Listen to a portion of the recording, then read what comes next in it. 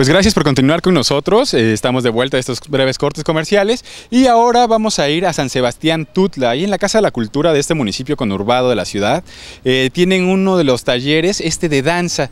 En realidad está muy interesante porque los niños se ve que realmente lo disfrutan, cómo conviven, están como ya muy compenetrados. Y bueno, está la invitación para que asistan todos ustedes con sus hijos o con familiares para que conozcan y, y participen y empiecen a tener esta convivencia con la cultura de nuestro estado.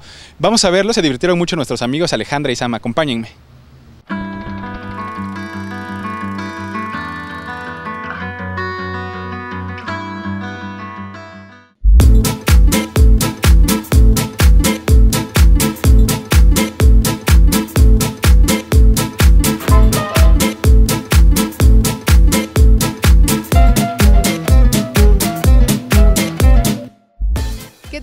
Estamos en su sección La Ruleta y en esta ocasión nos encontramos en la Casa de la Cultura Andrés Enestrosa en San Sebastián, Tutla, en el taller de danza. La Vamos danza, a cono- Alex. Sí, la verdad es que vamos a conocer mucho sobre este asunto, pero vamos a entrevistar al maestro que está a cargo de este taller.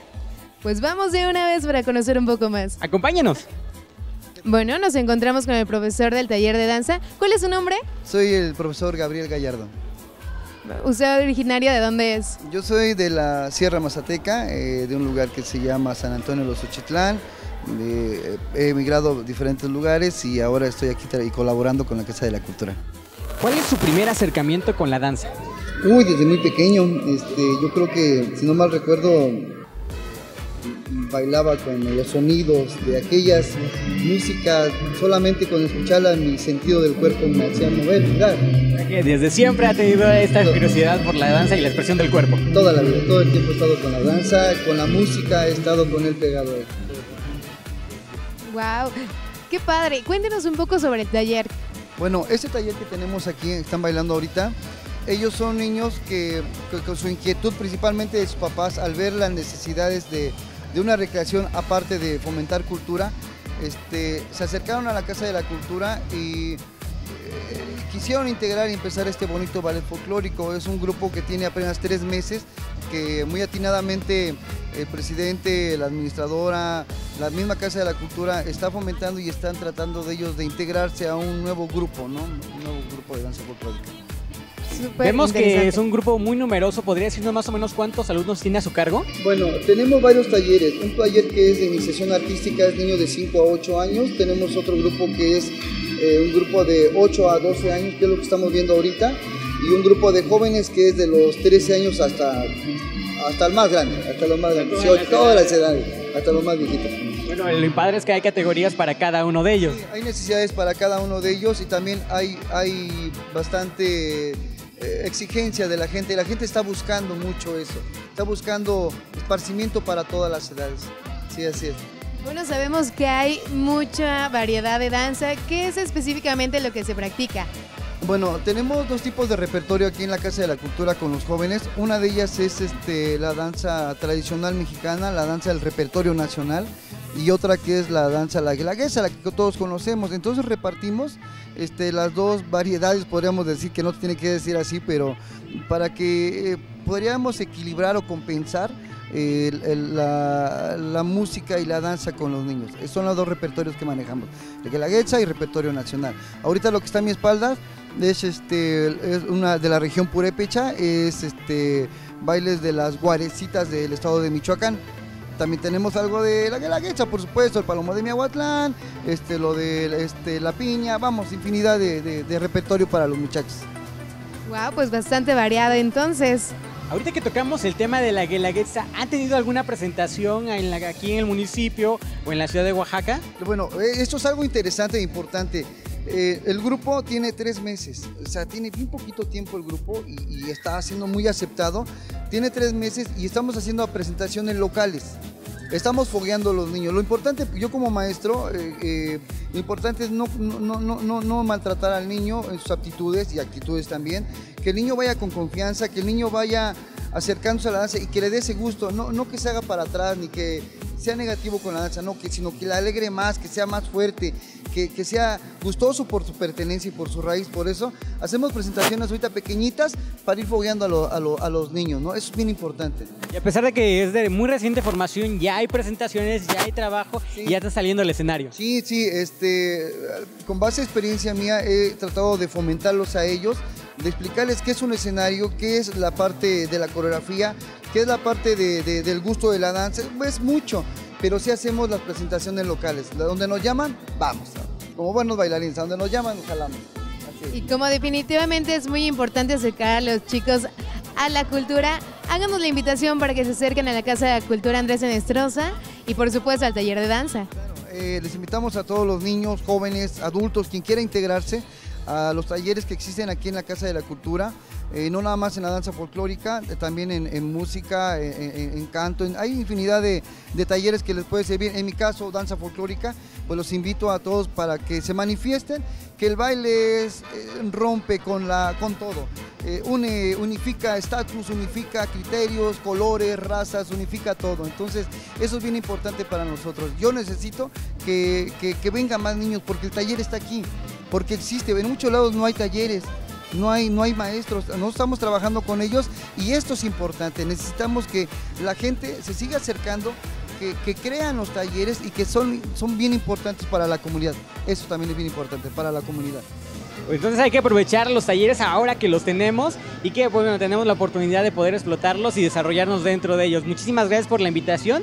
Espe- Nosotros seguimos aquí en La Ruleta. Veo que bailas muy bonito. Perdón que te secuestremos así tan de repente, pero la verdad es que te vemos ganando, bailando con muchas ganas y queríamos preguntarte a ti por qué te gusta tanto bailar.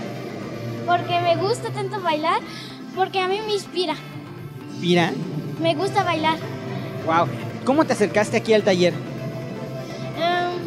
Mi mamá vino a ver los ta- talleres. Me dijo qué talleres había y yo lo elegí. Y Bueno, ¿y cuánto tiempo tienes en el taller? Oh, Más o menos. ajá, ¿Cómo cuánto? Un mes, una semana. Dos semanas. Wow, Wow, y sí. avanzaste muchísimo. ¿Y te O sea quieres que- dedicar a algo de que tenga que ver con la danza cuando seas más grande? Este. mm, Ajá. ¿Cómo qué te gustaría?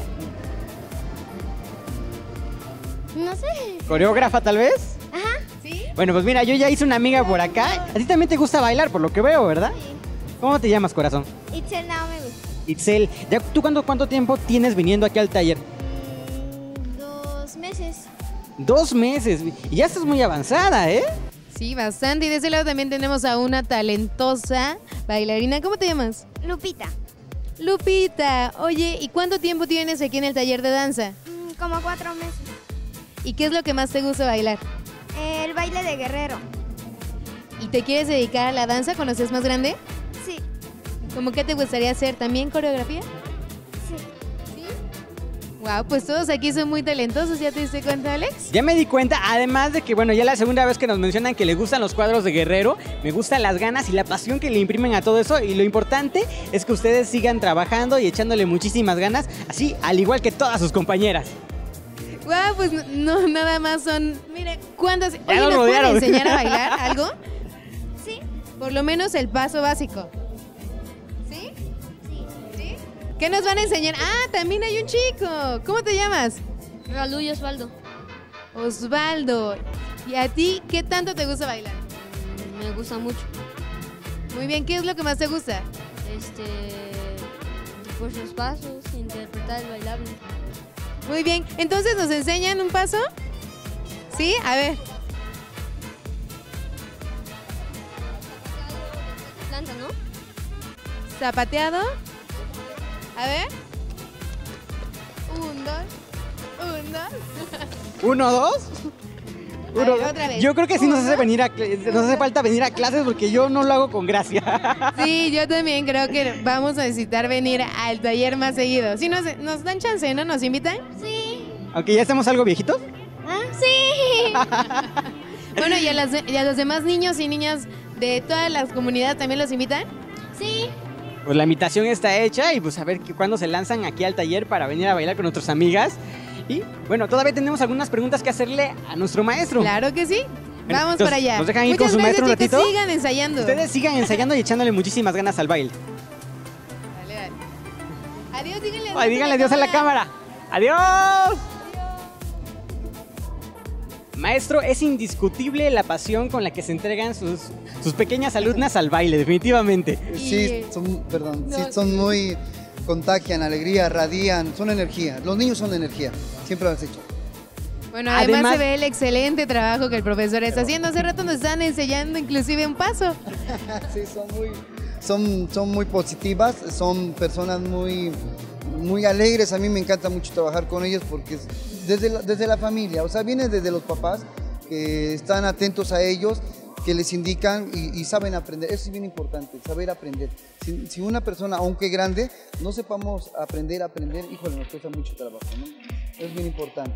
Y no existe disposición al aprendizaje, simplemente no se puede hacer nada. Y, y en ese sentido yo quisiera hacer la invitación nuevamente a, a todas las personas, niños, jóvenes, adultos que quieran pertenecer a esta, esta casa de cultura, a los grupos de danza, bueno, en este caso mi taller, en el cual se acepta no nada más gente de, de San Sebastián, eh, es, es- es tan, tan abierta nuestra casa de cultura que acepta a cualquier, a cualquier tipo de persona, a, a la que quiera, que puede venir de Santa Cruz, de, de Tlalistag, de donde quiera pueden venir las personas. De cualquier parte de la ciudad ti- tienen la puerta abierta. Claro, aquí, está, aquí lo recibimos con los brazos abiertos, eh, principalmente por el bienestar de Casa de Cultura, que tenemos la muy buena fortuna que está aquí y que, que está floreciendo y que está dando proyección a toda la gente. Eso es bien importante, ¿no? Incluso aceptan a los que tienen dos pies izquierdos como yo. Ay, no, esto no pasa nada. Aquí se los acomodamos y nos dijo un maestro, aquí no hay, no, no hay gente que no sepa bailar. Son un poquito tarditos nada más. Nada más, un poquito, pero todos aprenden a bailar.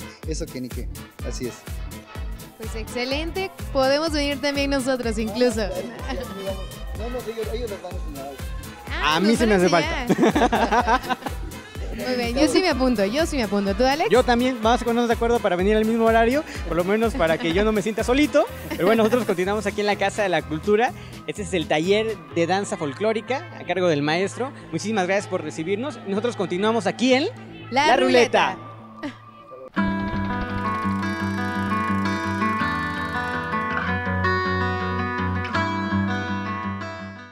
Pues qué tal divertida se dieron nuestros amigos Sam y Alejandro, ¿eh?